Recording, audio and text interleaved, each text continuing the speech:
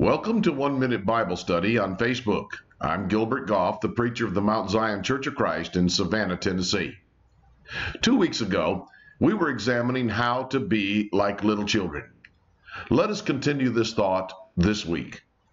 Except ye be converted and become as little children, ye shall not enter into the kingdom of heaven. Matthew chapter 18, verse 3.